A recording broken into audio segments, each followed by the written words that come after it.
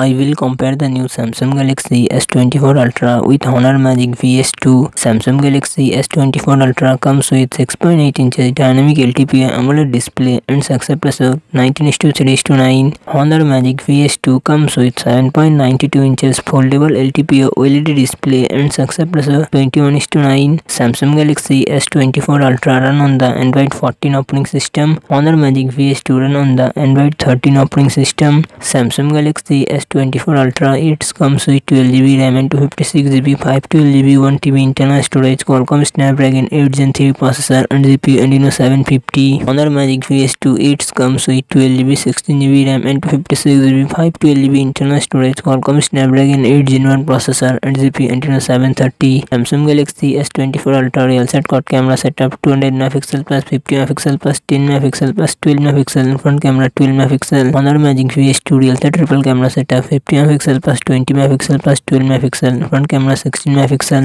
samsung galaxy s24 ultra 5000 mAh battery 45 watt fast charging support honor magic vs2 5000 mAh battery 66 watt fast charging support